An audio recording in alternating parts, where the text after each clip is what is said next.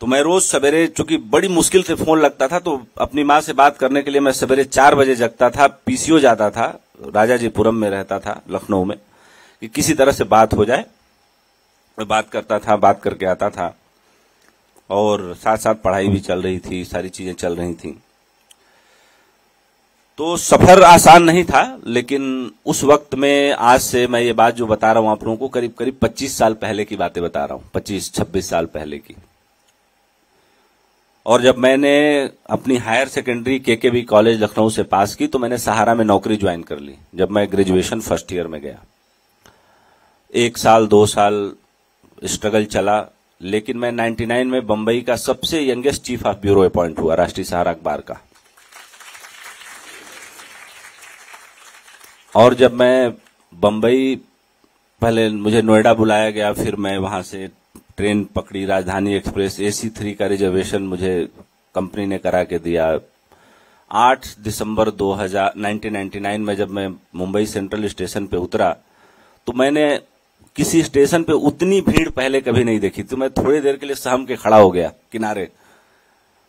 फिर मैं, एक आदमी मुझे लेने आया था तो चूँकि सहारा ग्रुप में, सहारा चेयरमैन ने ये व्यवस्था रखी थी कि ज़िम्मेदारी की जगह पे कोई छोटा कर्मचारी हो या बड़ा कर्मचारी हो, उसको फैसिलिटी वो पूरा देते थे, अच्छे से। तो एक आदमी लेने आया था, एक टाटा सुमो गाड़ी आई थी मुझे रिसीव करने के लिए। तो मैंने उनको बोला कि भाई ऑफ़िस कहाँ है? मुझे गेस्ट हाउस या वहाँ नहीं जाना है, मुझे पहले ऑफ़िस जाना है। तो बोले कि नरिमन पॉइंट पे ऑफ़िस है। तो मैंने कहा, मुझे ऑफ़िस ले चलिए पहले। तो अटलांटा बिल्डिंग में, नरिमन पॉइंट में नाइन्थ फ्लोर पे सहारा का ब्यूरो ऑफ़िस हुआ करता था, मैं वहाँ गया। जब मैं वहाँ गया तो पहले से लोगों को खबर थी, लेकिन ये नहीं खबर थी कि जो आदमी आ रहा है वो स्टेशन से ही ज्वाइन करने आ जाएगा। मैं गया, वहाँ मिला। और मिलते ही मैंने वहाँ पे ज्वाइनिंग देने के बाद एक दो लोगों का नंबर लेके आया था दिल्ली से, मैंने उन दोनों को फ़ोन किया। फ़ोन करने के बाद मैं चर्च गेट स्टेशन आया, दो रेलवे के सीनियर ऑफिसर से मिला इनकम टैक्स बिल्डिंग बगल में थी, वहाँ एक किसी सज्जन का नंबर लेके आया था, उनको फ़ोन किया, उनसे मिला। और मैंने 8 दिसंबर 99 से बॉम्बे उतरने के बाद मैंने अपना काम वहीं से शुरू कर दिया। तो ये जो मैंने अपनी शुरुआत की कहानी आप लोगों को इसलिए बताई कि तब के समय में, अब के समय में बहुत एक लंबा फासला बीत चुका है।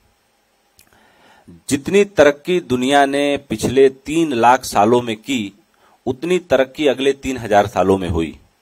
और जितनी तरक्की दुनिया को बेहतर बनाने के लिए तीन हज़ार सालों में हुई, उतनी तरक्की अगले तीन सौ सालों में हुई। और जब वो तीन सौ साल आए, तब इंडस्ट्रियल रेवोल्यूशन का जमाना आ चुका था। अंग्रेज़ आ चुके थे हमारे देश में।